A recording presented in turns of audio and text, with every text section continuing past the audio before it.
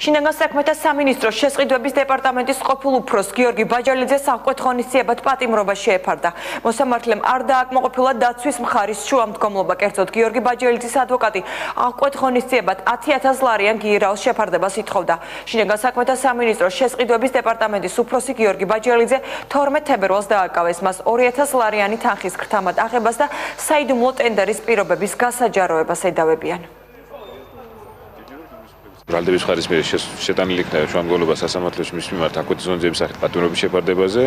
სამწუხაროდ სასამართლომ დააკმაყოფილა დღეს, არ იქნა გათვალისწინებული ჩვენი მოთხოვნა, ჩვენი შუამდგომლობა. შეეხება შემდგომ ბედს, ასე ვთქვათ, გასაჩივრების ეს რა თქმა უნდა ბრალდების ჩვენ ბრალდებულთან და ოჯახის წევრებთან შეთანხმებით მივიღეთ გადაწყვეტილებას 24 საათი გვაქვს ამისათვის დრო.